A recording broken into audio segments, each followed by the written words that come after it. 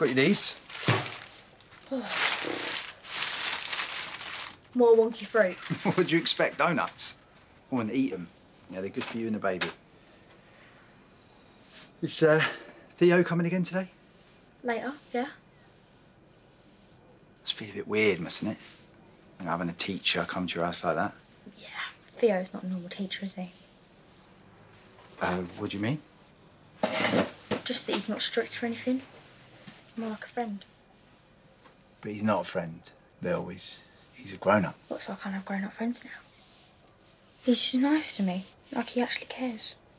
Does he say that to you?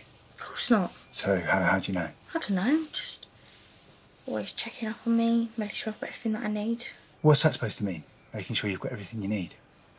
What if you haven't? Does he buy you stuff, Lil? What does he buy you, Lily?